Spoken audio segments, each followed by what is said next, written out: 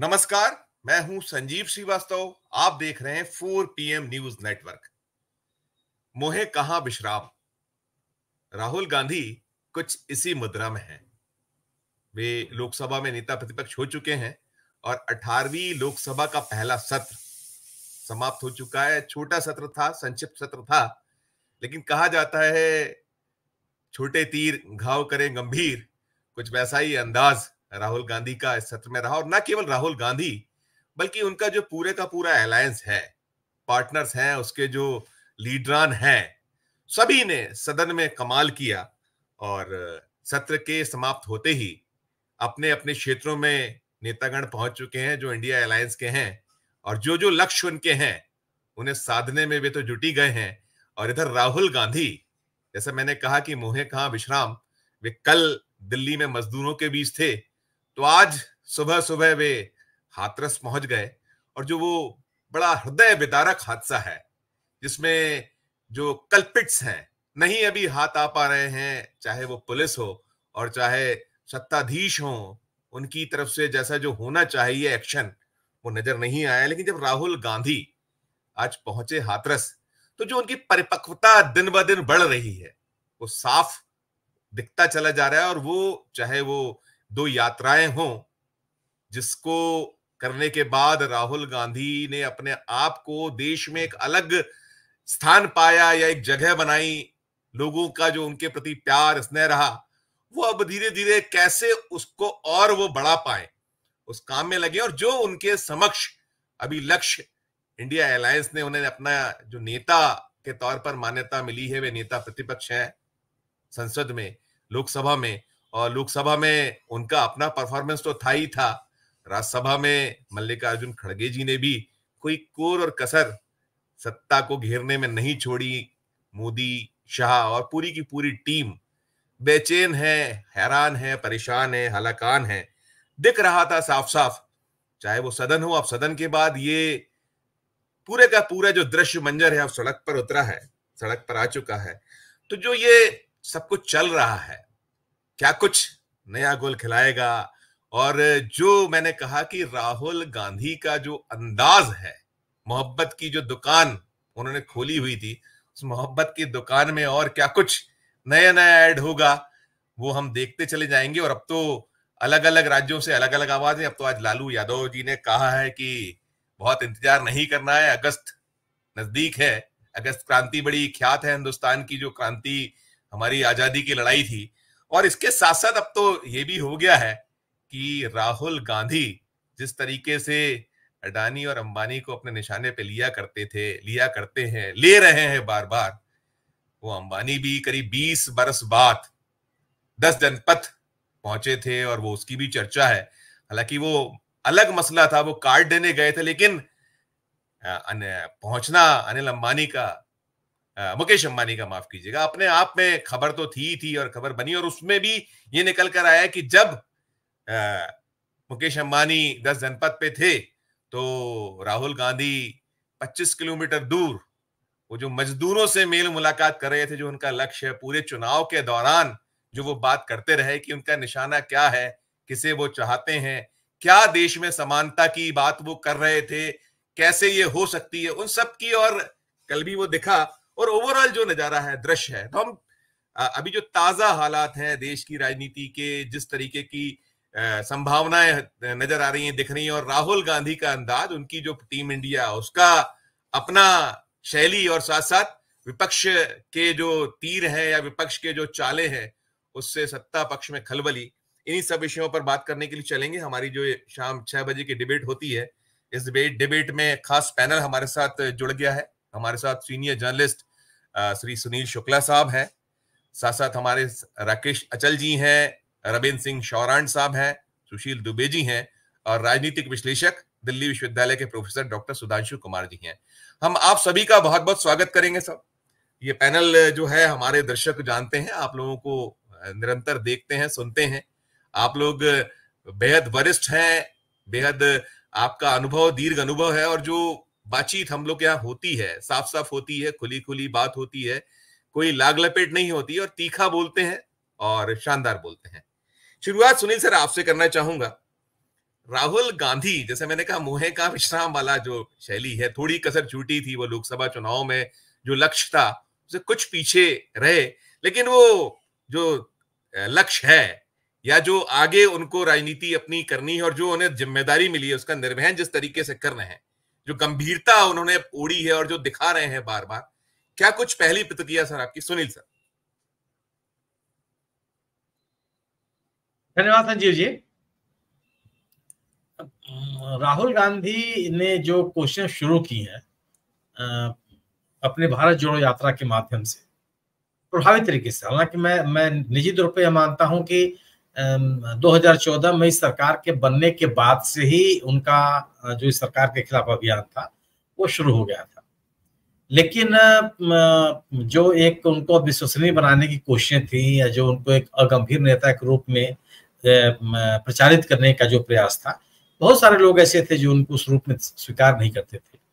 लेकिन व्यक्तिगत तौर पर मानता था कि चाहे संसद हो, चाहे संसद के बाहर हो, राहुल गांधी की सक्रियता थी और उतनी ही गंभीरता थी।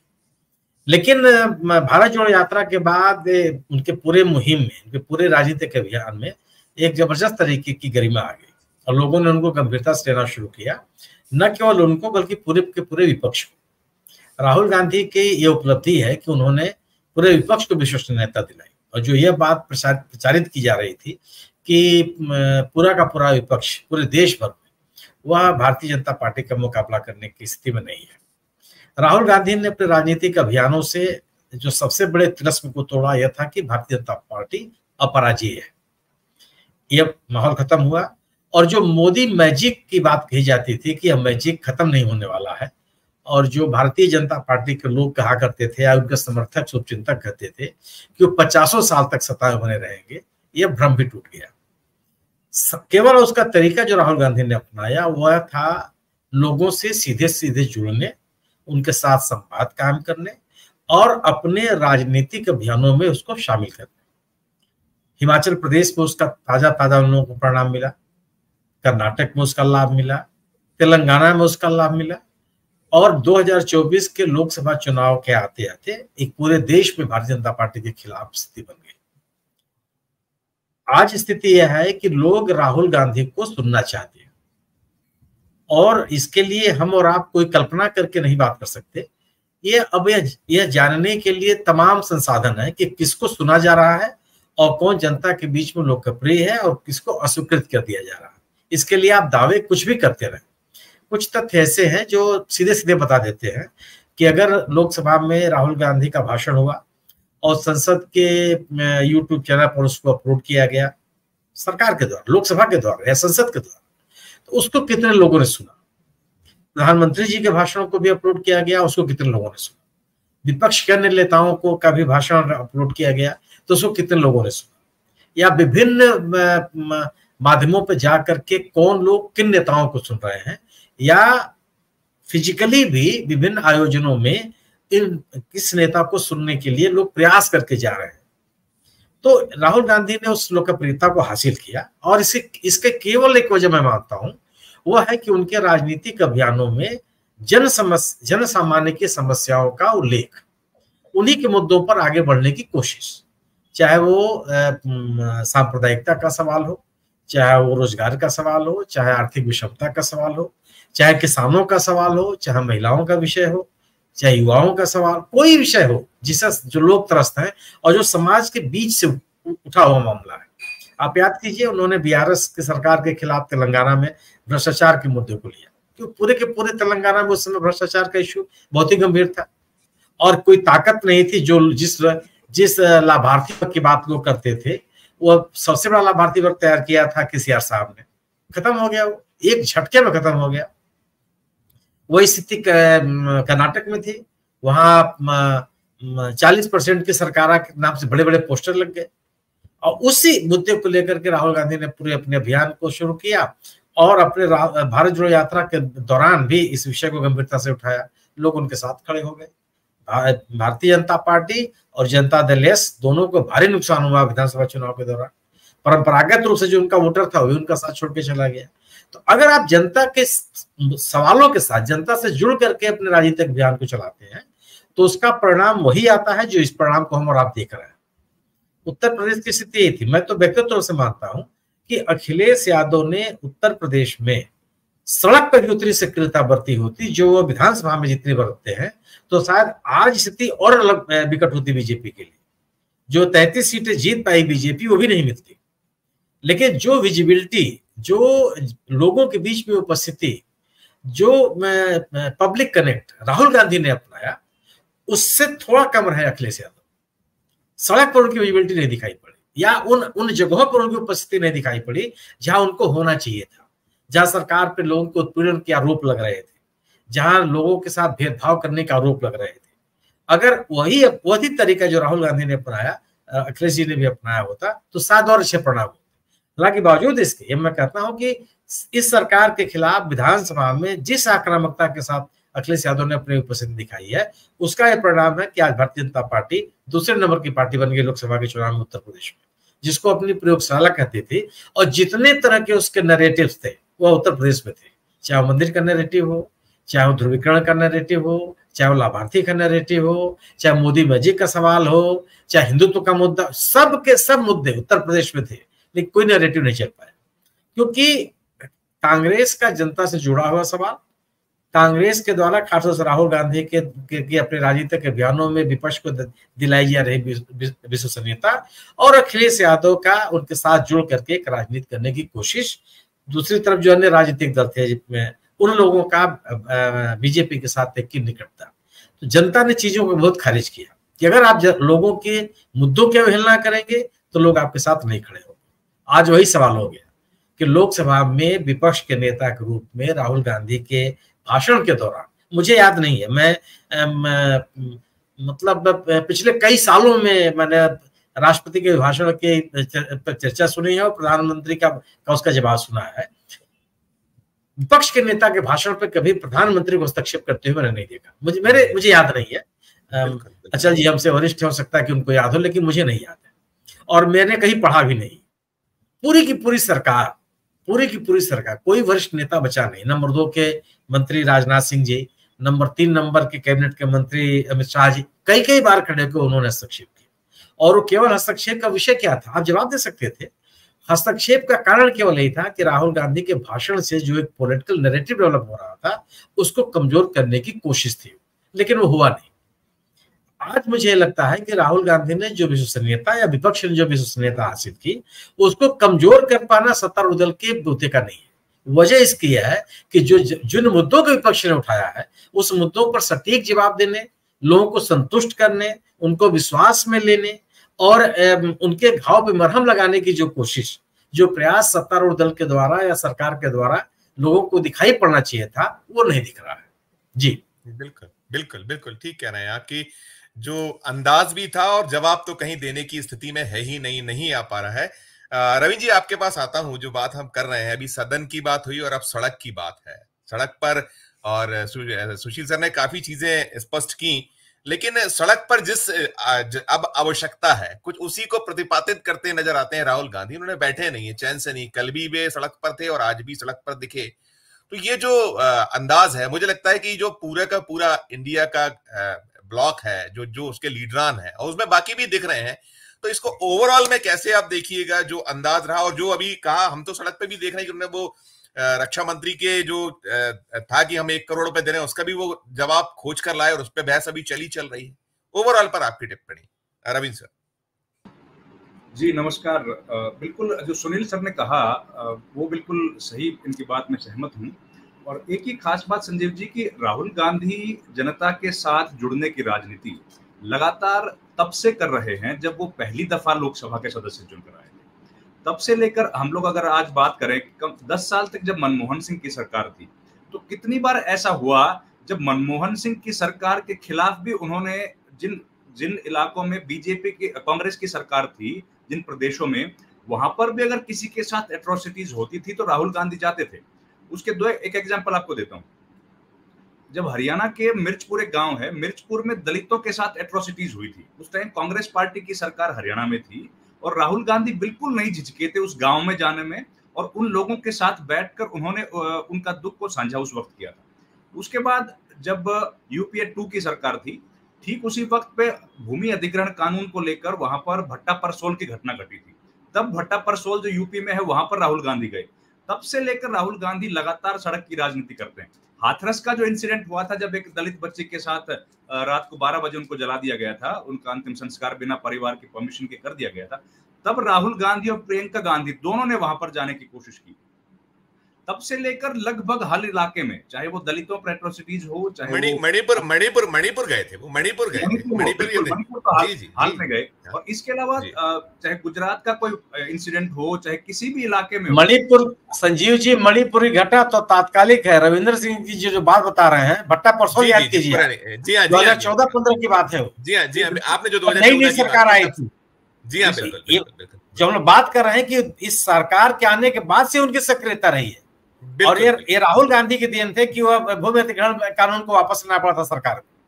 जी जी और, जी, जी। और इसके साथ ही सर एक और अहम बात जिसको कि बहुत नेगेटिव तरीके से प्रचारित किया गया था वो जो उन्होंने अध्यादेश की कॉपी हम लोग उस प्रेस कॉन्फ्रेंस में मौजूद थे। जी जी। जब वो अब देखिए अध्यादेश की कॉपी अब राहुल गांधी उस वक्त कैबिनेट का हिस्सा तो थे नहीं तो उन्होंने तो उस अध्यादेश को पारित किया नहीं था। लेकिन एक व्यक्तिगत सांसद के तौर पर अगर उनकी राय थी उन्होंने उस राय को ज़ाहिर किया कि जिस व्यक्ति को सजा मिल गई दो साल की उस व्यक्ति को सदन में नहीं आना चाहिए।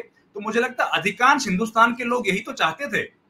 वो उस वक्त पे सरकार के खिलाफ आम आम जनमानस की राय थी और उन्होंने उसी राय का प्रकटीकरण किया था। लेकिन ठीक है उसको बहुत अलग दिशा में अलग तरीके से उस वक्त मीडिया ने और बीजेपी के सहयोग से दिखा दिया था। तो राहुल गांधी लगातार इस तरह की राजनीति संजीव सर करते रहे हैं। और आज भी सदन के भीतर, सदन के बाहर हो चाहे भीतर हो, और बार बार देखिए, जयराम रमेश जब भी प्रेस कॉन्फ्रेंस करते हैं तो पहली भारत जोड़ो यात्रा और दूसरी के बीच में जो गैप रहा तो हम पत्रकार लगातार उनसे पूछते थे कि क्या ईस्ट से वेस्ट भी राहुल गांधी यात्रा करेंगे? तो उनका यही कहना था कि राहुल गांधी आज भी भारत जोड़ो यात्रा कर रहे हैं, और उनकी यात्रा केवल लोगों को साथ सड़क पर चलने भर की नहीं है वो जब लद्दाख जाते हैं, लद्दाख के मुद्दे उठाने के लिए, तब भी वो भारत जोड़ो यात्रा का हिस्सा है। जब वो मणिपुर जाते हैं, तब भी भारत जोड़ो यात्रा का हिस्सा है। और जहाँ पर और ज़रूरत पड़ती है, जहाँ जिस इलाके में वो जाते हैं, वो भारत जोड़ो यात्रा का ही हिस्सा है। तो वो जनता के साथ जो उनका कनेक्ट था, चाहे वो आप देखिए जब हरियाणा के किसी गाँव में सवेरे सवेरे धान की जब रुपाई होती है, तब वो खेत में महिलाओं के साथ जाके बैठ जाते हैं, उनके साथ खाना खाते हैं। खास बात ये देखिए लोकल लीडरशिप जो हरियाणा की कांग्रेस पार्टी की है, उसको कानो कान खबर नहीं होती। उनकी टीम ये प्लान करती है और वो वहाँ पहुँच जाते हैं।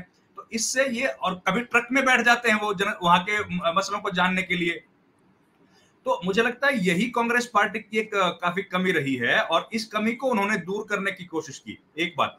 दूसरा, उनकी एक, उनके ऊपर जो एलिगेशन हमेशा लगते रहे, जो भी लीडर कांग्रेस पार्टी का कांग्रेस छोड़कर गया उन्होंने हमेशा इल्ज़ाम लगाया कि कांग्रेस के राहुल गांधी के आसपास की जो कोटरी है जो उनके साथ के लोग हैं वो बड़े नेताओं को उनसे दूर रखने की कोशिश करते हैं। तो मुझे लगता है जो कोटरी की बात करते थे वही कोटरी शायद आज एक मज़बूत स्तंभ के तौर पर राहुल गांधी के साथ खड़ी होती दिख रही है और जो प्लानिंग वो कर रहे हैं। जब प्लानिंग उनकी सही आ गई है तो आज कोटरी का कोई ज़िक्र नहीं कर रहा। आज कोई नहीं कह रहा कि उनके साथ जो एडवाइजर्स हैं, वो गलत काम उनको कर रहे हैं, नेताओं से दूर रख रहे हैं।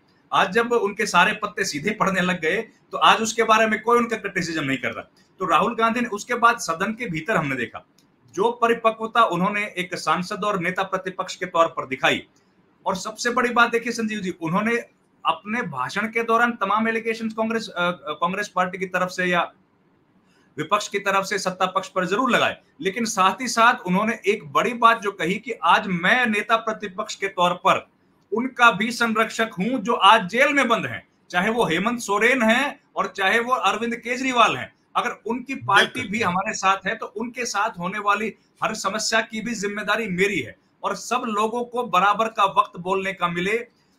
और एक और बात किस तरीके से समन्वय उन्होंने स्थापित किया है तमाम जो विपक्षी पार्टीज़ हैं, अब देखिए, हम लोगों को देखने को मिला कि जिस दिन स्पीकर का चुनाव हुआ, उस पर ध्वनि मत से वो चुनाव हो गया। तो बाहर आने के बाद अभिषेक बैनर्जी और कल्याण बैनर्जी, दोनों ने ये बात कही कि हम लोगों ने डिवीज़न मांगा था। लेकिन बावजूद उसके जब सदन की कार्रवाई शुरू हुई तो उनके बीच किसी तरह का कोई मतभेद नहीं दिखा। कितना क्लोज कोऑर्डिनेशन था और उसी दिन उसी दिन हमने देखा अगले दिन कि महुआ मोइत्रा सबके सामने कहती है कि ये मेरे नेता प्रतिपक्ष हैं। He is my leader of opposition तो जो कोऑर्डिनेटेड तरीके से उन्होंने इस बार सदन के अंदर रणनीति तैयार की है, वो बीजेपी के लिए या सत्ता पक्ष के लिए वाकई चिंता की बात है। और सुनील सर ने जो बात कही, मैं इस बात को दोबारा ज़रूर कहना चाहता हूँ कि सुनील सर मुझे भी सोमनाथ चैटर्जी साहब के वक्त से लेकर आज 2024 आ गया। 20 साल से संसद के भीतर से संसद कवर करते हुए और जब उसके पहले संसद की कार्रवाई को देखते हुए मैंने आज तक कभी नहीं देखा कितना भी तीखे से तीखा प्रहार नेता प्रतिपक्ष की तरफ़ से किया गया हो। लेकिन चाहे मनमोहन सिंह उस वक्त सत्ता में हो, चाहे इंद्र कुमार गुजराल देवेगौड़ा सत्ता में रहे हो, चाहे अटल बिहारी वाजपेयी सत्तासीन हो, उनके ऊपर कितना भी तीखा प्रहार किया गया, लेकिन उन्होंने नेता प्रतिपक्ष के भाषण को रोककर कभी भी अपना वक्तव्य जारी वहाँ पर नहीं किया। ये पहली दफ़ा हुआ है और उसके बाद छह बार, सात बार, आठ बार आठ बार, नौ बार जो उनका अलग अलग मंत्रियों ने उनके भाषण को रोकने की कोशिश की ये भी वाकई दिखाता है कि कितने बेचैन जो सत्ता पक्ष था उस वक्त था। और ठीक वही स्थिति आपने अगर आप राज्यसभा की कार्रवाई को, क्योंकि हम लोग थोड़ा सा लोकसभा को ज़्यादा देखते हैं, उसको इग्नोर कर देते हैं, राज्यसभा की कार्रवाई आप संजीव सर देखेंगे तो आप देखेंगे कि केवल नेता प्रतिपक्ष की बात नहीं है, खाली मल्लिकार्जुन खड़गे की बात नहीं। वहाँ पर जब मनोज झा भाषण देते हैं जब वहाँ पर संजय सिंह भाषण देते हैं तो उनके भाषण में चेयर से कम से कम दस दस पंद्रह पंद्रह बार बार बार उनको टोका जाता है। ऐसी रोक टोक ऐसी रोक टोक कभी नहीं होती है। और वो भी तब जब सभापति खुद वहाँ पर चेयर पर बैठे। तो इससे साफ़ ज़ाहिर होता है कि कहीं ना कहीं एक चिंता की लकीरें जो सरकार के माथे पर है वो साफ़ दिखाई दे रही है। और सदन के भीतर जो नंबर गेम बदला है उस नंबर से बीजेपी कहीं ना कहीं बैकफुट पर ज़रूर है। और इतनी जो प्रधानमंत्री नरेंद्र मोदी है, उनको एक मज़बूत नेता के तौर पर सबने देखा है। जब वो सदन के भीतर आते हैं तो सब लोग उनके मोदी जिंदाबाद मोदी जिंदाबाद के नारे लगाते लेकिन वो आवाज़ कहीं ना कहीं कुंद पड़ गई है। वो मेजों की जो थपथपाहट थी, उसकी आवाज़ अब सुनाई नहीं देती है। उसके बदले में विपक्ष की एक मज़बूत आवाज़, वो छनकती हुई हमको लोगों को दिखती है। और शायद ये अभी बीजेपी को सहन करने में या इसको डाइजेस्ट करने में समय लग रहा है। और राहुल गांधी जिस तरह से लगातार देखिए पत्रकार वही काम करते हैं जो राहुल गांधी कर रहे हैं। पत्र नेता नेताओं के लिए जो लोकसभा चुनाव लड़ते उनके लिए चुनाव खत्म हो गया। चुनाव आयोग के लिए चुनाव खत्म हो गया। लेकिन हम और आप आज भी वही डिबेट कर रहे हैं। पत्रकारों का काम कभी खत्म नहीं होता। ठीक उसी तरीके से लग रहा है कि राहुल गांधी का काम भी खत्म नहीं हुआ। वो चुनाव में भी उसी तरीके से धुरंधर प्रचार कर रहे थे जैसा कि आज हाथरस हो चाहे हाथरस के बाहर निकलने के बाद रेलवे के लोको पायलट से वो मिले हो चाहे मजदूरों से उनकी मुलाकात हो वो लगातार लोगों के साथ अपना जुड़ाव अब जुड़ने की कोशिश कर रहे हैं। और देखिए कल जो हमने देखा अग्निवीर जो अजय सिंह है पंजाब के शहीद अग्निवीर हैं उनके पेरेंट्स ने किस तरह से कहा कि हम लोग राहुल गांधी के साथ खड़े हैं? उन्होंने हमारी आवाज़ को बुलंद किया। देखिए राहुल गांधी की सरकार पंजाब में नहीं है। वहाँ पर केंद्र में राहुल गांधी की सरकार नहीं है, लेकिन क्योंकि उन्होंने सही मुद्दे को उठाया और उसी मुद्दे को उठाने की वजह से उस परिवार ने राहुल गांधी के पीछे अपना पूरा वेट लगा दिया। और ये बात अपने आप में बहुत एक बड़ी बात है कि सेना का जो मुद्दा, सेना के ऊपर बीजेपी बहुत राजनीति करती है, लेकिन सेना के जो बड़े मुद्दे थे, उनको कहीं ना कहीं कारपेट के नीचे धकेल दिया गया था पिछली सरकार में। क्यों? क्योंकि सरकार के पास ब्रूट मेजोरिटी थी इतनी बड़ी मेजोरिटी उनके पास थी। और कल और कितनी हैरानी की बात है देखिए कि जो रा, राकेश सिंह भदौरिया जो air air chief marshal retire हुए उनको बीजेपी की सपोर्ट में आना पड़ा और उनकी बाइट को बीजेपी ने अपने official Twitter official WhatsApp account में डाला। तो इससे ज़ाहिर होता है जनता भी इस बात से बिल्कुल परेशान है कि सेना जैसा सेक्युलर इंस्टीट्यूशन जो 100 परसेंट ए पोलिटिकल इंस्टीट्यूशन आज तक हिंदुस्तान में रहा है जिसका किसी जाति से मतलब नहीं, किसी धर्म से, संप्रदाय से मतलब नहीं है। और वो जब ज़रूरत भारत को पड़ी तो उन्होंने आगे बढ़कर भारत की मदद की। भारत की हमेशा तैयार रहे वो अपने सीने पर गोली खाने के लिए। उनको पहली बार पॉलिटिकल मोटिव के लिए यूज़ किया जा रहा है। मुझे लगता है ये भी एक चिंता की बात है, जो लोगों को बिल्कुल पसंद नहीं आ रही। जी, संजीव जी। बिल्कुल बिल्कुल ठीक कह रहे हैं आप। देखिए, वो बहुत मुद्दे आधारित बात करें। तिलमिलाट यही कि सरकार के पास जवाब किसी भी बात का नहीं है। वो गोलमोल जो शैली रही है बीते दस सालों में, उसी को कोशिश जारी रखना चाहती है, लेकिन अब वो स्थिति नहीं है, नंबर गेम बदल चुका है और एग्रेसिवनेस तो हमने लोकसभा में ही देखी ना, बहुत महुआ मोहित्रा जब बोली तो कैसी तिलमिलाट ट्रेजरी बेंच में दिख रही थी। राकेश सर जो दो चीज़ें, एक तो टाइमिंग अब राहुल गांधी की टाइमिंग बड़ी देखिए, बहुत नज़दीक है, बहुत दूर नहीं है हाथरस जाया जा सकता था, केंद्र से अभी मुझे जो ध्यान है, चाहे सुशील सही, सुशील तक सही कर देंगे, आप ध्यान सही कर देंगे मुझे कोई लीडर केंद्र का नहीं पहुँचा है वहाँ। केवल यूपी के चीफ मिनिस्टर ही बार पहुँचे दिखे और राहुल गांधी का पहुँचना उनका जो पूरा का पूरा जो कह लीजिए कि जिस अंदाज में वो पेश आ रहे हैं बार बार जो नया स्वरूप है, इन सब पर आपकी अपनी टिप्पणी। राकेश धन्यवाद संजीव जी। देखिए बदले बदले मेरे सरकार नज़र आते हैं और घर की बर्बादी के आसार नज़र आते हैं। ये ये जो जो जो जो शेर है ये इस समय भारत की राजनीति में सत्तारूढ़ दल पर सौ फ़ीसदी फिट बैठता है। आप देखिए कि भारत की राजनीति में हम लगातार सत्तर पचहत्तर साल से लोकतंत्र की ओर बढ़ रहे थे लेकिन पहला मौका आया कि भारतीय जनता पार्टी की सरकार दक्षिण से एक राजदंड ला करके लोकसभा में स्थापित कर दिया। अब जबकि भारतीय जनता पार्टी राजदंड के बारे में भी कुछ नहीं जानती और राजधर्म के बारे में भी कुछ नहीं जानती। तब भी नहीं जानती थी जब वो गुजरात में मुख्यमंत्री थे और अब भी नहीं जानती है जब वो देश के तीसरी बार प्रधानमंत्री के रूप में शपथ ले चुके हैं। तो जो आदमी राजधर्म नहीं जानता जो राजदंड का मतलब नहीं जानता वो जनता के दुख दर्द को कैसे जाने? असली बात यह है अगर देखिए सुनील जी ने बात कही बिल्कुल मुद्दे की बात कही भाई हमारे सिंह साहब ने जो बात कही उसमें भी हाँ बिल्कुल, उसमें भी बिल्कुल एक सिलसिला बधा हुआ है, लेकिन मैं थोड़ा लीक से हट के बात करता हूँ कि हमारे माननीय जो प्रधानमंत्री हैं, वो संघ के प्रचारक रहे हैं। और वो तीसरी बार प्रधानमंत्री बन गए, लेकिन अभी तक आधिकारिक रूप से उन्होंने प्रचारक पद से अपनी मुक्ति नहीं पाई है, न उसकी घोषणा की है। तो वो आज भी प्रचारक हैं और प्रचारक के तौर पर काम कर रहे हैं। जब जिस आदमी को राजधर्म नहीं आता, जिस आदमी को राजदंड का मतलब समझ नहीं आता कि अब इस लोकतंत्र में राजदंड की ज़रूरत नहीं है, यहाँ संविधान चलता है, यहाँ कानून अपने ढंग से काम करते हैं तो इन सबको चूँकि वो भूल चुके हैं और उन्होंने हमेशा विपक्ष की राजनीति की, भारतीय जनता पार्टी के जन्म से लेकर के अभी तक, संयोग से बीच में अटल जी आ गए थे और अब जो दस साल से हैं तो ये अभी तक इनको ये आदत ही नहीं पड़ी कि राजधर्म होता क्या है? सत्ता में बैठी पार्टी की भूमिका क्या होती है? तो आज भी ये विपक्ष की भूमिका में है। और जब आपने सदन में देखा राष्ट्रपति के अभिभाषण के समय तो माननीय प्रधानमंत्री ही नहीं, बल्कि उनकी पूरी टीम, पूरे सिपा सालार विपक्ष की भूमिका में नज़र आ रहे थे। जो काम विपक्ष करता है टोका टाकी का बीच बीच में उठक बैठक करने का वो उन्होंने किया। तो ये उनकी विरासत है। अब बात है राहुल गांधी की तो राहुल गांधी का जैसा कि शुरू में सुनील जी ने कहा कि वो आज से गंभीर नहीं है, आज से जनता से कनेक्ट किए वो 2004 में जब पहली बार संसद में आए थे, तब से उन्होंने इस भूमिका को चुन लिया था। और इसके पीछे देखिए, कांग्रेस को पढ़ना पड़ेगा आपको। अगर देश की राजनीति के बारे में जानना है तो कांग्रेस ने लंबे अरसे तक राजनीति, सत्ता में रह के काम किया देश की जनता के लिए, और विपक्ष में भी रही। आपातकाल का एक बहुत गंभीर आरोप उस पर लगा, सत्ता से दूर भगाई गई, वापस सत्ता में आई। बावजूद उसके उसने उसे जो भूमिका मिली, उस भूमिका में अपने तय बहुत अच्छा काम करने की कोशिश की। जैसे इंदिरा गांधी को आप याद कीजिए, बेलछी से शुरू होकर जो परंपरा शुरू होती है, वो आज हाथरस पे आकर टिक गई है। ऐसी कोई परंपरा भारतीय जनता पार्टी के पास नहीं है।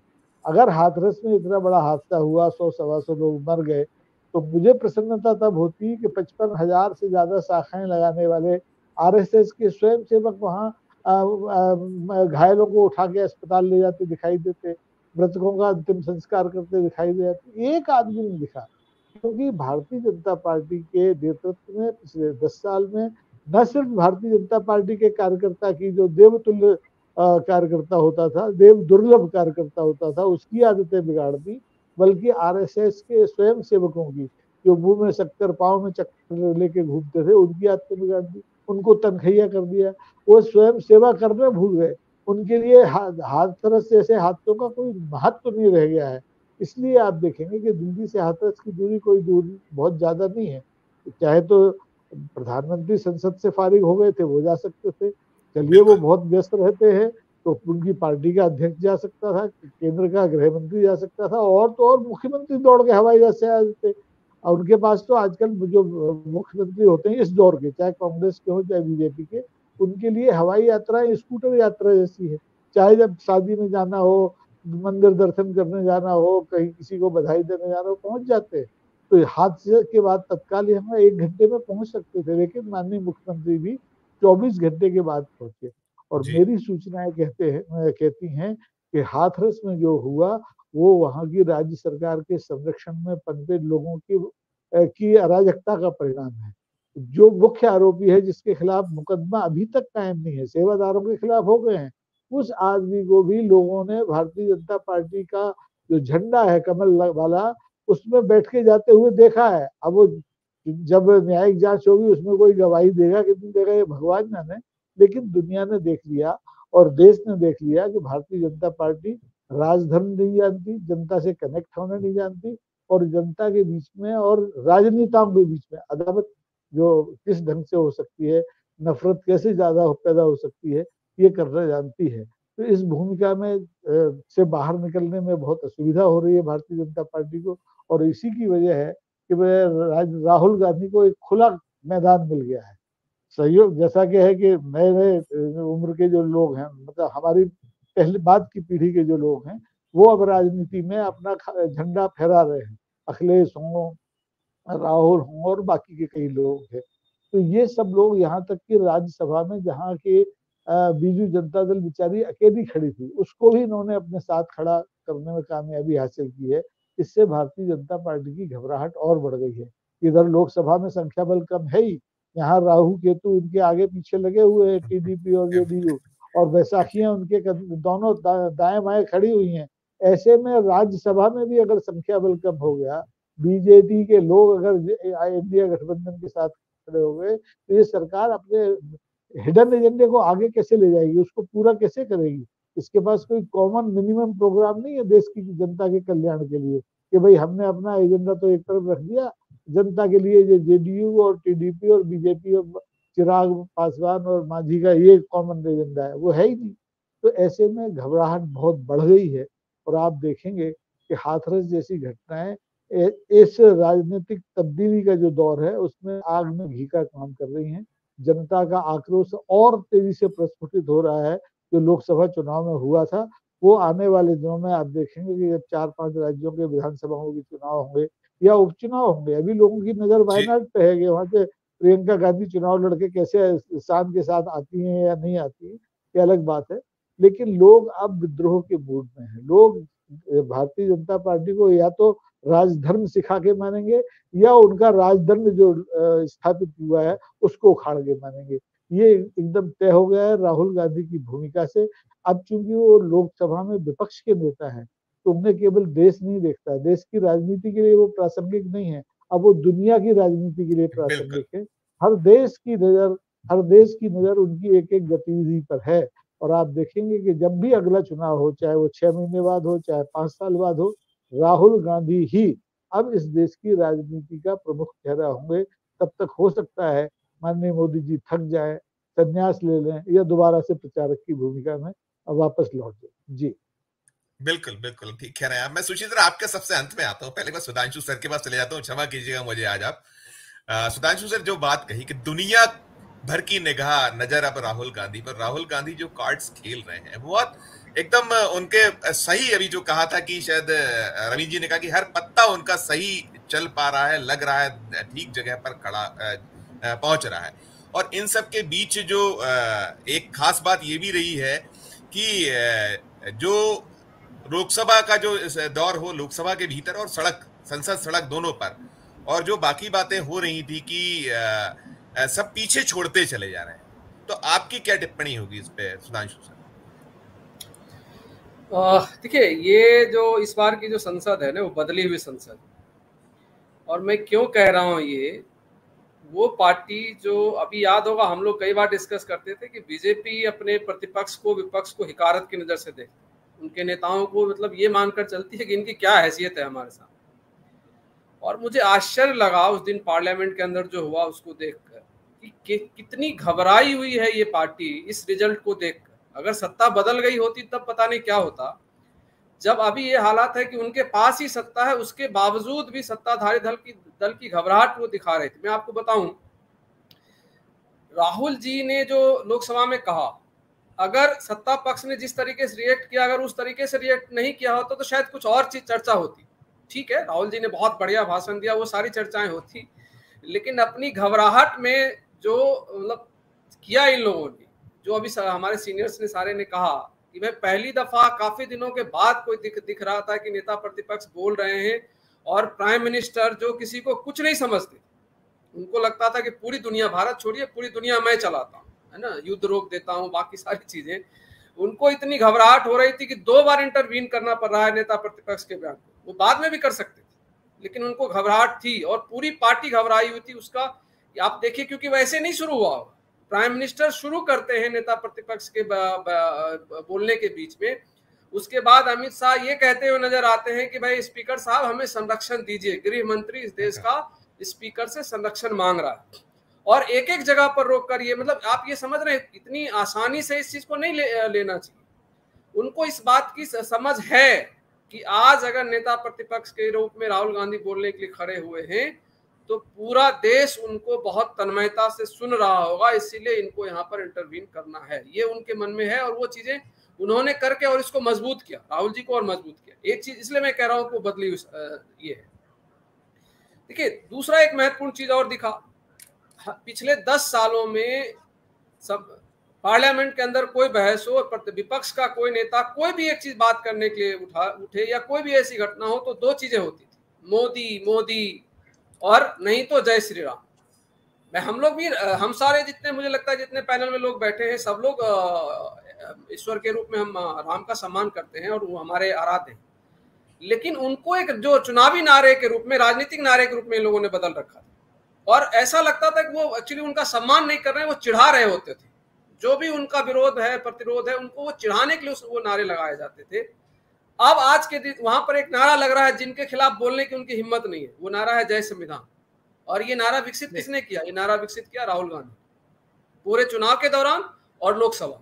आज उनकी हैसियत नहीं है अब वो नारे खत्म हो जाएँगे अब जय संविधान के नारे लग रहे हैं जय भीम के नारे लग रहे हैं। तो वो चीज़ें वहाँ बदली है सर। इसलिए मैं कह रहा हूँ वो बदला हुआ तीसरी महत्वपूर्ण चीज़ जो रविंदर जी भी कह रहे थे कि जो कोऑर्डिनेशन है विपक्ष के बीच में जो कोऑर्डिनेशन है वो बहुत अद्भुत है। विपक्ष हमने 2014 से लेकर 2019 भी देखा 2019 से लेकर 2024 भी देखा। अलग अलग दल है अलग अलग मत है अलग अलग तरह की उनकी पृष्ठभूमि है अलग अलग राज्यों से आते हैं तो उनके बीच में कंफ्लिक्ट है। कई जगह आपस में भी इनका जैसे मान ली पश्चिम बंगाल में कांग्रेस और सुधांशु जी सुधांशु जी सुधांशु जी दो चीज़ें हुई थी राहुल गांधी के भाषण वाले दिन वो एक नारा वो भी लगा था राहुल राहुल भी लगा था और दूसरा जो महुआ मोहित्रा ने कहा था कि नहीं वो हमारे लीडर अपोजिशन है उन्हें पता है मैं क्या बोलने वाली हूँ। तो वो जो आप कह रहे हैं कि दोनों में जो आप बहुत अच्छा तालमेल सामंजस्य वो दिख रहा है। हम्म। उसी को जोड़ रहा हूँ चीज़ का। आप देखिए और दूसरी जो एक महत्वपूर्ण चीज़ और है इसमें नोटिस करने की चीज़ है। जी। विपक्ष में पहले क्या था देखिए राहुल गांधी की स्वीकार्यता बढ़ी है। आम जनता में तो बढ़ी रही है। विपक्ष के नेताओं के भी स्वीकारता बढ़ रही है। आप देखोगे कि वहाँ पर राहुल जी से सलाह मशविरा करने के लिए विभिन्न दलों के लोग आकर बैठते हैं उनसे बात कर रहे हैं। और जो रविंदर जी ने कहा कि भाई टीएमसी में महुआ मोहित्रा तो दिखी सबने लोगों ने कोट भी किया महुआ मोहित्रा उनके साथ बैठकर कुछ चर्चा कर रही है बनर्जी जी ने बैठकर चर्चा करी और वो जो एक तरह से कई बार दिखता था कि नहीं ममता बनर्जी जी अलग स्टैंड ले रही हैं अलग वो ले रही लेकिन पार्लियामेंट के अंदर वो चीज़ें नहीं दिख रही। सब लोग ये मान रहा है कि हमारा जो नेता प्रतिपक्ष है वो कांग्रेस का नेता प्रतिपक्ष नहीं है वो विपक्ष का जो इंडिया ब्लॉक है उसका नेता प्रतिपक्ष उसका नेता और इस चीज़ को राहुल जी निभाते हुए भी नज़र आ रहे हैं। वो जब अयोध्या की चर्चा करते हैं तो अयोध्या का जीता हुआ मेंबर ऑफ़ पार्लियामेंट कांग्रेस का नहीं है वो समाजवादी पार्टी का है। और उन स्टार्ट करते हैं और उनको सबसे पहले उनको ग्रीट करते हैं कि भैया आपने जो इन, आपके सामने तो ये जो एक महत्वपूर्ण पहलू है कि उनकी स्वीकारता बढ़ रही है वो आने वाले दिनों में ये जो सवाल खड़ा किया जाता था मोदी नहीं तो कौन? अब आपको वहाँ पर दिख रहा है कि मोदी नहीं तो राहुल गांधी है। देश के सामने एक लीडरशिप है। और एक अच्छी चीज़ क्या होगी और जो मतलब मुझे लगता है कि बीजेपी ने क्या मंथन किया था, नहीं किया था, लेकिन उन्होंने इसको खुद से साबित किया।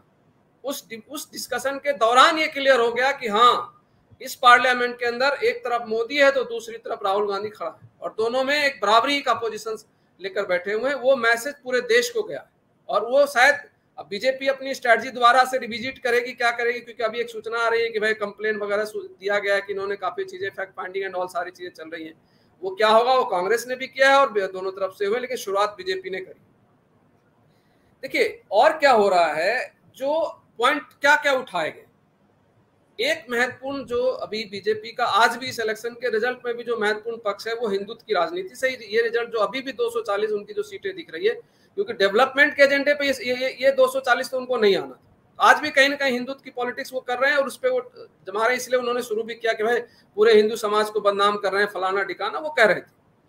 लेकिन आप ये देखिए कि वो वो भी एक प्लान था। जो राहुल जी ने कहा एक काउंटर नैरेटिव है उस हिंदुत्व राजनीति की जो वहाँ करना चाहते कि अगर वाकई में आपको हिंदुत्व की समझ है तो हिंदुत्व का सबसे महत्वपूर्ण चीज़ है कि निर्भय रहो। और आप क्या कर रहे हो? आप उसी समाज को डराते हो, क्योंकि वो निर्भयता का जो बीजेपी का एजेंडा है, वो क्या है? वो डर का एजेंडा हिंदू समाज को बार बार कहा जाता है कि हिंदू धर्म खतरे में पता नहीं कैसे खतरे में है उसकी प्रमाणिकता कभी नहीं देते। ये ठीक है, हमारे समाज में काफ़ी लोग उस बात को मानते थे। तो मुझे लगता है वहाँ भी संदेश देने की कोशिश की है राहुल जी ने कि देखो ऐसा है अगर आप वाकई में हिंदू की समझ आपको है हिंदू धर्म की समझ है तो हिंदू धर्म में तो नियम ये जो सबसे पुराने जो माना जाता है शिव की जो देखिए शिव की और बहुत मुझे लगता है कि शिव की जो लेकर आए वो बहुत प्लान हम हम हम हम सुधांशु जी उतने हम उसमें ना जाए हम ये चीज़ें तो पूरा देश देख चुका है हम तो भी ताज़ा परिप्रेक्ष्य जो अब इसको क्योंकि मैं अगली टिप्पणी सुशील जी से भी लेना चाहूँगा आप समझ करिएगा। जी, जी वो जो कह रहे थे मैं उस, उसको उसी को बताने को हाँ, मैं हाँ, जी जी जी और जी, बड़े पैमाने पर ये मैसेज देश के स्तर पर गया है। गया राहुल आज के डेट में एक कंप्लीट नेता है और अगर कल ज़रूरत पड़ी और देश ने जनता ने उनको मौका दिया तो बहुत अच्छे से और सौहार्दपूर्ण भाईचारे वाले थे जो जो भारत की क्योंकि आइडिया ऑफ़ नेशन की बात वहाँ पर हो रही थी।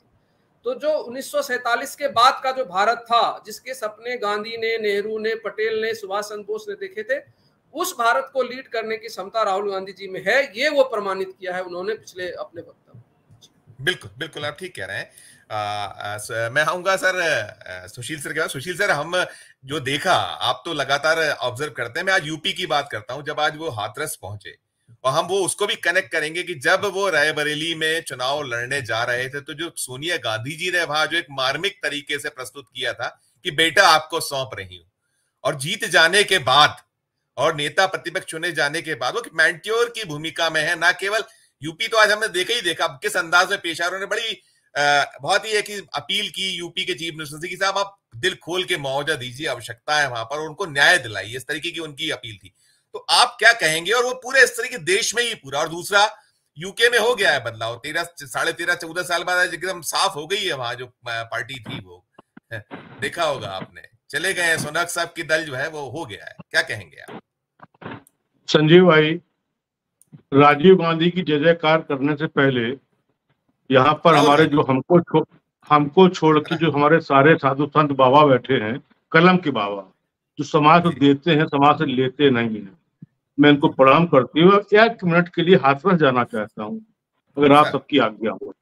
Please over to over to Hathras तो मैं संजीव भाई हाथरस जब, जब पहुँचा राहुल जी तो मुझे लगता है कि राहुल गांधी से पहले आना चाहिए था इस देश के प्रधानमंत्री को। लेकिन मुझे ऐसा लग रहा है कि उन्होंने उसको मणिपुर मान लिया है। हाथरस की जो टेरिटरी है उसको उन्होंने मणिपुर मान लिया है कि अगर हम मणिपुर नहीं गए हैं तो मैं हाथरस भी नहीं जाएँगे। हमें वो स्वागत करना है, क्योंकि वह जैसा था तो मुझे स्वागत करना इस टाइप से, जो भी उनकी अपने हो। दूसरी बात, राहुल जी से मुझे शिकायत है, और फोर पीएम के नाते, और इतने धुरंधर हमारे बाबा बैठे हैं जिनके माध्यम से मैं, राहुल जी, आप गए। आप जानते मैं आपके प्रति विचारों से साथ बड़ा, आपके प्रति सौहार्द रखता हूँ। आप गए साधुवाद। बहुत अच्छा और आपके प्रति आप तो देश के आँसू पहुँच रहे हैं इस समय। यहाँ भी पहुँचा, पहुँचना भी चाहिए था, और सही समय पर भी पहुँचे। लेकिन आपको जाते एक बाद पहली मांग करनी चाहिए थी, जो फर्जी बाबा बैठा, जो जूता पूजा पहन के वहाँ पर वो भगवान बना बैठा था, जिसकी चरण धूल से लोग लोग चले गए, बेबस लोग चले गए, उनकी तत्काल गिरफ्तारी की मांग राहुल जी को करनी चाहिए। अब आपके सलाहकारों ने क्या किया, क्यों किया कि वो जाटव था वो ब्राह्मण था, नहीं था, ठाकुर था, नहीं था कायस था, नहीं था अब बाद में लोग लोग जानते नहीं थे, भोले बाबा कौन है? भोले भोले बोला बोला इतना बड़ा आतंक निकला कि हत्यारा क्या है? तो उसको दो सेवादारा कोई मुकदमे है। असली एक सौ बीस बी में मुकदमा राहुल गांधी जी को मांग करनी चाहिए थी, तब बात समझ में आती। तो कहीं ना कहीं चूक हुई है। अब जाके क्या होता? है दूसरी बात, मैं विनम्र निवेदन करता हूँ योगी आदित्यनाथ से और देश के प्रधानमंत्री से और प्रतिपक्ष के नेता राहुल गांधी से फोर पीएम के चाहे बाबा खटिए वाला हो, चाहे बाबा दो विश्वस्य वाला विश्व वाला हो, चाहे बाबा एक बीघे वाला हो, चाहे दस बीघे वाला हो, चाहे अरब का हो, चाहे फाइव स्टार हो, तीन स्टार हो। अब इन लोगों का काम साधु संत, चाहे बाबा परपंच वाला हो, चाहे उपदेश वाला हो, चाहे ज्ञान वाला हो। अब इनको भारी उद्योग मान लेना चाहिए। अब ये धर्म वाले नहीं रह गए हैं। ये सारे बाबा भारी उद्योग में आ गए हैं। तो अगर भारी उद्योग में आ गए हैं तो इनके ऊपर कोड ऑफ़ कंडक्ट जो होता है, वो इनके ऊपर अब लागू होना चाहिए। एक इनकी नियमावली बननी चाहिए कि ये कैसे जाएँगे, क्या करेंगे, खटिया में बैठ जाएँगे, खेतों में बैठ जाएँगे, पल्ली पे चल जाएँगे, बल्ली पे लटक जाएँगे, या जिनके नीचे वो धूल से लोग मर जाएँगे, या जो बीस करोड़ की गाड़ी से कम निकलेंगे ही नहीं, इस टाइप से कई बाबा है। तो इनके ऊपर एक नियम कानून बनना चाहिए, ये मैं मांग करता हूँ। दूसरी बात संजीव भाई, अब मैं आ जाता हूँ लौट के राहुल जी के पास। राहुल जी जब चाहते तब रावड़ी देवी बन जाते क्या दिक्कत? राहुल गांधी जब चाहते तब संपूर्ण संपूर्ण चोर क्या वो क्या नाम है, चप्पई सोरेन बन जाते राहुल गांधी जब चाहते तब अखिलेश यादव बन जाते हमने कितनी डिबेट में कहा होगा, कितना हमने छाती पीटी होगी कि काश राहुल गांधी जिसमें राहुल गांधी को ईडी ले गई आठ आठ दस दस बीस बीस पच्चीस पच्चीस घंटे सोनिया जी को इनको वो वो, डिटेन किया सवाल जवाब किया। अगर उस समय ये वो बन गए होते बजाय अध्यादेश फाड़ने की जगह पर ये यूपी टू में बन गए होते पीएम तो शायद प्रोटोकॉल दूसरा होता। लेकिन मुझे लगता है ये नियति है डेस्टनी है।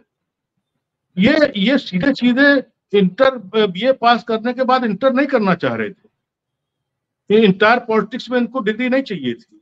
इनको सीधे बाकायदा के जी करते हुए जूनियर हाई स्कूल होते होते होते होते, अब इनको पीएचडी मास्टर डिग्री होनी थी। अब इनको डिग्री मिल गई है। विपक्ष के, प्रतिपक्ष के नेता के नाते, और प्रति, पहले तो विपक्ष का नेता था इसने कहा, अब नेता प्रतिपक्ष होना चाहिए था। मोहन भागवत ने कहा। अब मोहन भागवत के आदेशानुसार राहुल गांधी यार प्रतिपक्ष के नेता है, और बाकायदा लोग कहते भी हैं। देश ने पहली बार देखा कि प्रतिपक्ष के नेता के भाषण धन्यवाद भाषण में वो वित्त मंत्री सलाह वो वो, वित्त मंत्री जी, भूपेंद्र चौधरी, भूपेंद्र यादव जी केंद्रीय मंत्री, राजनाथ जी केंद्रीय मंत्री होम मिनिस्टर केंद्रीय मंत्री और स्वयं अमिताभ जो विश्व गुरु है। कि स्वयं वो कर रहे थे डिस्टर्ब कर रहे थे, टोक रहे थे, जो भी कर रहे थे ज्ञान दे रहे हो, या उपदेश दे रहे हो, या जो भी कुछ कर रहे हो तो ये तो हमें लगता है कि ये तो बहुत बड़ा कद बढ़ गया। तो जब और अभी जो राहुल जो राहुल के ऊपर, जो राहुल को जो आलू सोना वाला जो ट्रोल किया गया था, जो फाड़ने वाला, अध्यादेश वाला जो ट्रोल किया गया था, जो सबसे बड़ा उनके साथ जो हुआ था, जब वो हारे थे अमेठी मुझे लगता है कि उसके बाद उभरना बहुत बड़ी बात होती अपनी जगह सुवरना और और जो मार्मिक अपील सोनिया गांधी ने की थी संजीव भाई तो राहुल गांधी की तो पूरी ज़िंदगी मार, मार्मिक निकल गई। जब वो जब दा, दादी मरी तो भी वो छोटे से थे पिताजी मरे तो भी वो बिल्कुल मासूम से थे जब वो चिता में अग्नि दे रहे हैं। और ये देश ने देखा उसके बाद भी इस तरीके से ये लोग जो तहनाशार लोग या जिनके अंदर संवेदना नहीं है या जिनके अंदर राजनीतिक सुचता नहीं है, ये बात अटल जी तक रही। उसके बाद लोग अलग अलग किस्म के कैसे कैसे अच्छा वो जो भी मित्र हमारे कह रहे थे, सारे ट्रोलर भाग गए, सारे आईटी सेल वाले भाग गए, सारे जितने वो मालवी वाला टीम थी, वो सब भाग गई। कभी दिख जाए तो दिख जाए, नहीं तो पता नहीं कैसे, किस तरीके से संजीव जी, राहुल जी का जो परसों का भाषण अभी कुछ दिन पहले का जो भाषण था, मुझे अद्भुत लगा। मैंने मान लिया कि आने वाला भविष्य और और बहुत सुनिए, ये भविष्य इसी उसमें है, इसी पाँच साल में है। इसके लिए उन्नीस सौ बीस, इक्कीस, बाईस चौबीस के बाद वो नहीं करना पड़ेगा, चौबीस से पाँच का। इसी छह महीने के बाद ये भविष्य आएगा। देखिएगा इसको, ये छह महीने में परिपक्व हो जाएँगे। जिस स्टाइल में राहुल गांधी ने कहा है कि मोदी ही हिंदू हिंदू नहीं है। संघ ही हिंदू नहीं है। बीजेपी ही हिंदू नहीं, जो स्टाइल थी, जो डायलॉग डिलीवरी थी, उसको दीवार वाली फ़िल्म में अमिताभ बच्चन को फेल कर दिया। वो तो बैठे हुए थे। राहुल गांधी तो बैठे सुन रहे थे ना। जब उन्होंने उकसाया, जब मोदी ने कहा कि वो हिंदू और ये और ये कहा, वो कहा, जब छाती पीटी तो राहुल गांधी खड़े हुए बोले no no no no no no सुनिए सुनिए।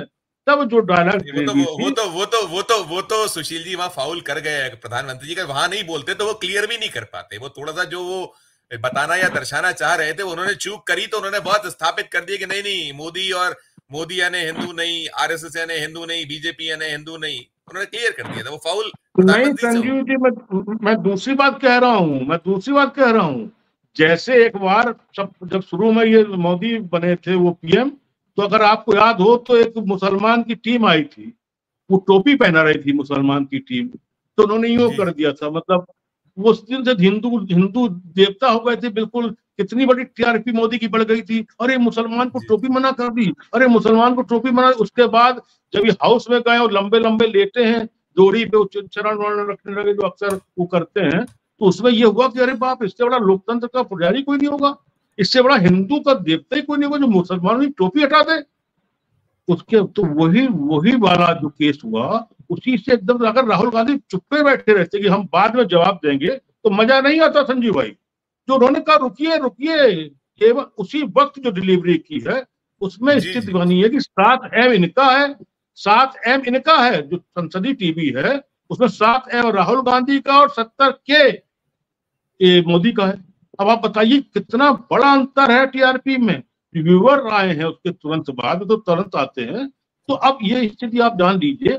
और फिर दूसरी बात, एक जो जो वो करता है ना, प्रभु, या प्रकृति, या नेचर जो करता है, बहुत अच्छा हुआ जो अधीर रंजन हार गया। मैं तो उसने तो मरा, नाश कर दिया पूरी पार्टी को। वो हार गया। अब जो भी रीजन रहा हो, जो भी मजबूरी रही हो, और इनका आना हो गया, इनका उदय हो गया।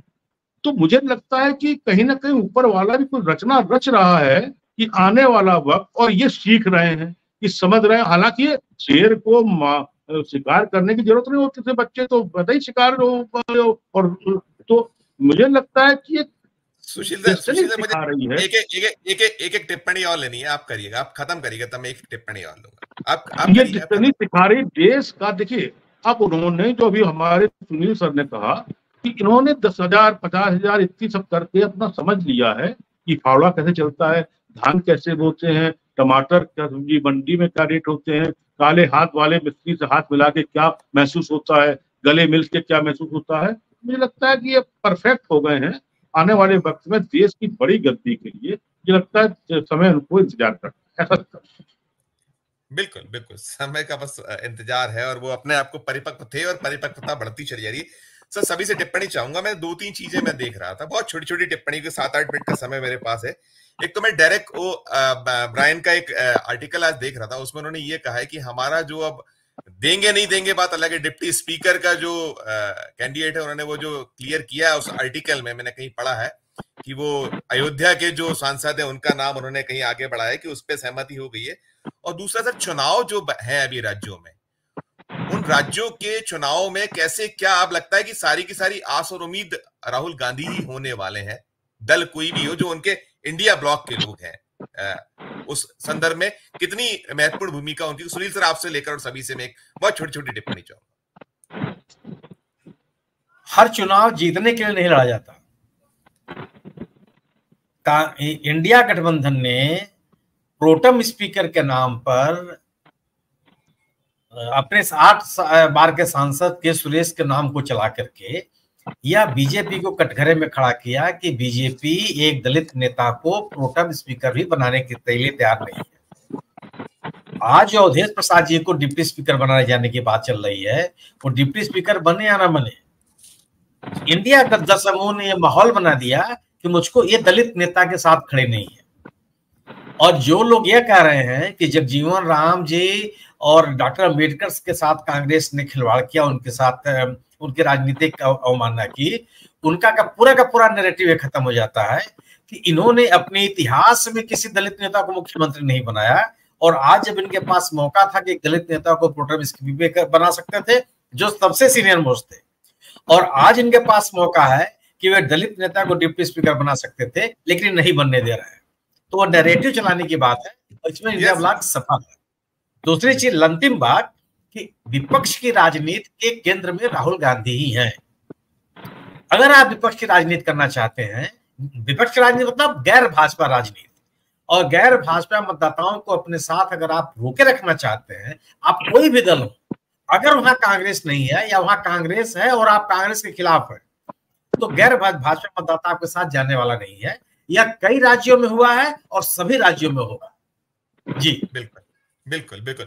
रविंद्र सर, आपकी, मैं भी यही चीज़ की पॉलिटिकली जो मूव है, हम जो आपने भी उसको चलाया था कि बहुत प्रॉपरली कार्ड्स खेले जा रहे हैं, वो उसी का हिस्सा है। जीते या ना जीते, उन्हें पद मिले या ना मिले, लेकिन ये स्थापित होगा कि ये दलित विरोधी है, जो सुनील सर कह रहे हैं, उसी संदर्भ में मेरा प्रश्न था। तो आप क्या कहेंगे दोनों चीज़ों छोटी सी टिप्पणी।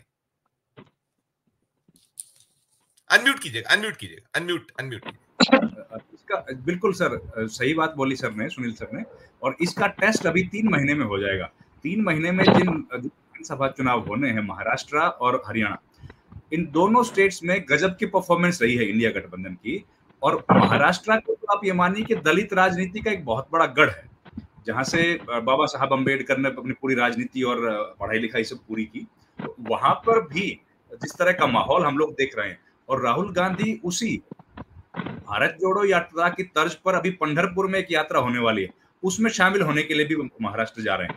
तो जिस तरीके से वो हर विपक्षी दल के साथ अपना जो समन्वय है, उसको मज़बूत कर रहे हैं और वो जिस तरीके से धूरी बन गई कुछ दिन पहले देखिए कैसे खारिज किया जाता था राहुल गांधी के नाम पर कि राहुल गांधी के अलावा अगर किसी भी चेहरे को भी कांग्रेस पार्टी आगे कर देगी तो शायद विपक्षी दल उसके साथ जुड़ जाएँगे। लेकिन कैसे राहुल गांधी ने अपने आप को एक इवॉल्व किया है लीडर के तौर पर, वो वाकई काफ़ी इंप्रेसिव है और उसी के इर्द गिर्द राजनीति घूम रही है। चाहे महाराष्ट्र की राजनीति अब देखिए महाराष्ट्र का चुनाव हो तो उसके केंद्र में राहुल गांधी ही रहने वाले हैं और चाहे हरियाणा का चुनाव हो हरियाणा में, क्योंकि बीजे, कांग्रेस पार्टी आमतौर पर मुख्यमंत्री का चेहरा घोषित नहीं करती है, ऐसे में जो केंद्रीय नेतृत्व है, उसके ऊपर ही पूरी दारोमदार रहता है और आज जो लोकप्रियता बढ़ी है राहुल गांधी की, उसका फ़ायदा लोकल यूनिट्स को निश्चित तौर पर होने वाला है।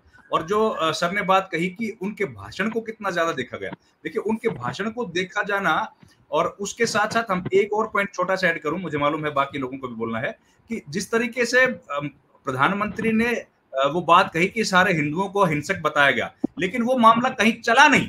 जबकि बीजेपी बीजेपी तो सोशल मीडिया की माहिर पार्टी थी लेकिन क्यों फेल हो गया? क्योंकि लोकप्रियता के मामले में प्रधानमंत्री बहुत ज़्यादा पिछड़ गए हैं। और राहुल गांधी कई कदम उनसे आगे चले गए। इसलिए किसी भी तरह का उनके ऊपर आक्रमण जो है, वो फ़िलहाल काम कर नहीं रहा है। जी सर। बिल्कुल बिल्कुल बिल्कुल। राकेश जी, मैंने तो वो जो यूके के चुनाव की बात इस संदर्भ में की थी कि वहाँ जो नतीजे हैं, उसमें महँगाई एक इशू रहा है। यहाँ ठीक है, धर्म की अफीम चटा के हो गया था, लेकिन वहाँ हुआ और अब शायद जो आने वाला वक्त है, धर्म की अफीम चलने वाली नहीं है। राकेश सर। देखिए धर्म की अफीम का नशा तो उतरना शुरू हो गया हिंदुस्तान में भी उतरना शुरू हो गया है। और आपने देखा ही कि जो लोकसभा के चुनाव के जनादेश है वो ये बताता है कि अब नशा उतर रहा है। तो ये इधर से तो उतर रहा है लेकिन इधर मुश्किल ये हो गई कि भारतीय जनता पार्टी के पास जो तीन प्रमुख तुरुप के पत्ते थे एक तो हिंदुत्व दूसरा दलित तीसरा आदिवासी इन तीनों का जो दूसरा पहलू है वो राहुल गांधी ने अपने पक्ष में कर दिया है। उन्होंने जो हिंदुत्व, अहिंसक हिंदुत्व है, उसको बता दिया कि हिंसक कौन सा है? हिंसा वाले वो हैं जो अब डरा रहे हैं कि राहुल गांधी के भाषण के बाद देश में कुछ हिंदू संगठन उपद्रव कर सकते हैं। खुफिया रिपोर्टें आ गई हैं, राहुल गांधी की सुरक्षा बढ़ा दी जाए। तो ये वो लोग हैं जो ये करते ही आए हैं। राहुल गांधी बोलते तो न बोलते तो उनको तो हिंसा करनी है। एक तो ये गया, दलित का मामला भी सुनीति ने बता ही दिया कि आपने प्रोटेम स्पीकर तक को मौका दलित के रूप में नहीं दिया तो वहाँ वो आपसे निकल गए। आदिवासी आपके हाथ से निकल ही चुके होंगे। आपने हेमंत सोरेन को पचास दिन तक जेल में रख लिया और आज उन्होंने शपथ ले ली मुख्यमंत्री के तौर पर। तो तीनों जो कार्ड थे, वो इनके फेल हो गए हैं और यही तीनों कार्ड अब आने वाले जो विधानसभा के चुनाव है, इनके लिए बहुत बड़ा खतरा बनने वाले हैं। राहुल गांधी खतरा नहीं है। राहुल गांधी तो लोकतंत्र के लिए एक संजीवनी की तरह माने जाएँगे। क्योंकि उन्होंने लड़के संविधान के लिए धक्के खा के सड़कों पर चल के, अपनी लोकसभा की सदस्यता गंवा के, यानी अपना सरकारी बंगला गंवा के, वो सब उन्होंने, वो तो सारी अग्नि परीक्षाएँ पास करके कुंदन की तरह तब के आ गए हैं। लेकिन अब बारी मोदी जी की है और मोदी जी शायद इसके लिए अपने आप को तैयार न कर पाए, क्योंकि वो तो प्रचारक हैं। प्रचार कर सकते हैं, सरकार चलाना उनके बूते की बात नहीं है, और ये मैं पहले भी कह रहा था और आज भी कह रहा हूँ। जी। बिल्कुल बिल्कुल। नहीं आपने जो बात की अकेले तीन पत, जो आपने त्रुप के पत्ते जो थे वो अकेले नहीं जो उनका हुकुम का इक्का माना जाता हुकुम का इक्का ही अब वो उसी की पूरी की पूरी जो वो था वो मलम्मा उतर चुका है वो है। सुधांशु सर आपकी टिप्पणी अनम्यूट करके बोलिए प्लीज़ बहुत छोटी सी तो मैं अंतिम टिप्पणी सूची के लेकर समाप्त करूँ देखिए क्या है ना कि कोई भी नेता ना सड़क पर निखरता है और सड़क पर रहने के लिए जो भी नेता सड़क पर रहेगा, उसका उठान होना है, वो आगे बढ़ेगा। और राहुल गांधी जी ने यात्रा शुरू करके दो यात्राएँ करी और यात्रा के बाद जो आप लोग कह रहे थे, वो रुका नहीं है। कल भी देख रहे हैं, आज भी देख रहे हैं। और इस तरह से अगर वो एक्टिव रहे और अब तो उनको पार्लियामेंट में जो यात्रा कर रहे हैं, वहाँ जनता से कनेक्ट कर रहे हैं और पार्लियामेंट में आके अपने आप को प्रशासनिक रूप से भी सक्षम दिखा रहे हैं। तो बहुत बढ़िया कॉम्बिनेशन बन रहा है और आने वाले दिनों में बहुत इस पे जनता रिलाय भी कर रही है, विश्वास भी कर रही है और मैं आपको एक चीज़ अंतिम एक बात कह देता हूँ। देखिए, पूरा जो चुनाव बीता है, अब केवल विपक्ष की धुरी नहीं बने इस इस बार का जो लोकसभा चुनाव था, उसमें भी कहीं ना कहीं राहुल गांधी बेक बैक मतलब बोन की तरह काम कर रहे थे और जहाँ जहाँ कंफ्लिक्ट हो रहा था जिन जिन पार्टियों के साथ कंफ्लिक्ट हो रहा था तो उसके, उसको ठीक करने के लिए, उसमें समझौता कराने के लिए राहुल जी ही आ रहे थे। तो ये एक बहुत मेच्योर नेता की छवि है कि भाई अगर कहीं मतलब लोग कंफ्लिक्ट के टाइम पे ही बड़े नेताओं को उतारा जाता है कि हमारा आपस में नहीं बन रहा आप आके रिजॉल्व करो। तो वो उस उन सारी चीज़ों को उन्होंने प्रमाणित कर दिया कि वो सड़क पर भी रह सकते हैं आपस में मेल मिलाप भी करा सकते हैं और प्रशासक के रूप में एक अच्छा परफॉर्मेंस भी दे सकते हैं। तो भविष्य उनका काफ़ी आने वाले दिनों में बहुत उज्जवल होगा। सुशील सर आपकी अंतिम टिप्पणी आपसे समाप्त करूँगा। एक सटाई टिप्पणी छोटी सी टिप्पणी। संजीव संजीव भाई देखिए, दिन बदलते हैं तो ऐसे बदलते हैं। वायनाड जीत नहीं जा रही है। अगर बहन भी आ गई, आई गई, पक्का आ गई तो ये भाई बहन अगर जब बोलेंगे हाउस में तो मुझे लगता है विपक्ष तो बाल बाल नोचे बड़ा स्थिति में आ जाएगा मामला। दूसरी बात, हम लोग आराम अभी कह गए, कितनी बड़ी घटना हो गई है। एक बार घटना मुझे अब नहीं पता समय नहीं है। जब नेहरू अंबानी जी मिले थे पहली बार, इनके पिताजी कैसे मिले थे और क्या रास्ता बताया कि आपका पैरों तब वो घटना थी सबको आपको मालूम होगा। सवा घंटे रहे हैं सोनिया जी के सोनिया जी को इंतज़ार तो कराए हैं वो कि सवा घंटे उनको इंतज़ार कराओ खाली कार्ड लेके वापस बच जाएगा। अगर सवा घंटे बैठे हैं उनके घर पे सोनिया जी के घर पे और राहुल जी नहीं थे तो कुछ तो बातें हुई होंगी। कुछ तो आदान प्रदान शुभकामनाओं का हुआ होगा। अगर हुआ होगा तो, तो बहुत बड़ी बात है। तीसरा ये चारों स्टेट में भविष्य उज्ज्वल है बीजेपी का महाराष्ट्र उत्तर प्रदेश की दस सीटें। आपके हरियाणा, ये जो भी है उनमें, चौथा जो सबसे बड़ा है, राहुल गांधी अब प्रतिपक्ष के नेता है। ना आलू सोना है, ना फाड़ने वाले हैं, ना वो पप्पू है, ना वो राजू है, ना वो छोटू है। आज प्रोटोकॉल में शायद पाँचवें नंबर पे होंगे, मुझे नहीं मालूम। राष्ट्रपति, उपराष्ट्रपति और प्रधानमंत्री इस तरीके से करते पाँचवें नंबर पे होना है, छठे पे प्रोटोकॉल में है बाकायदा। और जिन राजीव गांधी, राहुल गांधी को चार कमरे के मकान से निकाल दिया था मोदी जी ने, सम्मान फेंकवा दिया था ताला हाथ जोड़ के लौटाए थे वो वो आठ कमरे का मकान मिला है बंगला मिला है। और एक बटालियन बाहर पीएसी वो बड़ी बड़ी फोर्स लग गई है। हाँ एक बटालियन पूरी वो तो जो हवी चलेगी वो चली रही है। तो ये ये बदलाव कौन कर रहा है? ना संजीव जी कर रहे हैं, ना सुनील जी कर रहे हैं, ना मैं कर रहा हूँ। ये बदलाव जो है, नेचर कर रहा है डेस्टनी कर रहा है और राहुल गांधी की मुकद्दर कर रही है। तो जब मुकद्दर चलती है, जुआ ये पॉलिटिक्स जुआ है, जब जुए में मुकद्दर चलती है तो फिर और कलर और फिर आते ही रहते हैं कि वो सब टेल के या ये राहुल गांधी ट्रेन का मामला राहुल गांधी की ट्रेन चल पड़ी है ट्रेन चल पड़ी है धन्यवाद। बिल्कुल बिल्कुल बिल्कुल ट्रेन चल पड़ी है। और सुशील जी मैं तो ये कहूँगा आठ कमरों का मकान नहीं है आपको बहुत छोटे से दिल में बड़ी सी जगह चाहिए वो उन्होंने हासिल कर ली है और उस जगह तक कोई नहीं पहुँच सकता। महल खड़ा कर लीजिए वो जो एंटलांटा है क्या है वो शायद मैं बोलने में गलत कर गया हूँ जो आप मुकेश अंबानी जी का वो भी छोटा पड़ता है आपको दिल में जगह चाहिए वो शायद बनाने में कामयाब हुआ उसको और परिपक्व और एंटिला। उसको और बढ़ाते चले जाए एंटीलिया एंटीलिया माफ़ कीजिएगा माफ़ कीजिए। बहुत बहुत धन्यवाद इस चर्चा के लिए। सुशील दुबे साहब सुनील शुक्ला साहब राकेश जी रवीन सर और हमारे सुधांशु सर। बहुत शुक्रिया बहुत धन्यवाद।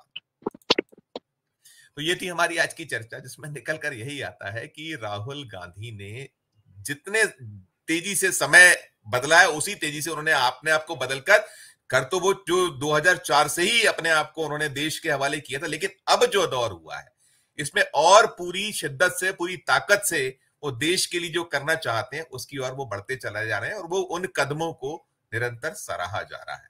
इस चर्चा में इतना ही। हम फिर किसी नए विषय, किसी नई चर्चा के साथ आपके समक्ष उपस्थित होंगे। हमारा अनुरोध कि आपको ये चर्चा हमारी कैसी लगी, हमारे इस वीडियो के, हमारे इस चर्चा के कमेंट बॉक्स में जाकर ज़रूर कमेंट कीजिएगा। हमारे चैनल को लाइक कीजिए, सब्सक्राइब कीजिए। यदि आपने ज्वाइन का बटन नहीं दबाया तो ज्वाइन का बटन भी ज़रूर दबाइए। प्यार बनाए रखिए और देखते रहिए फोर पीएम न्यूज़ नेटवर्क। धन्यवाद। नमस्कार।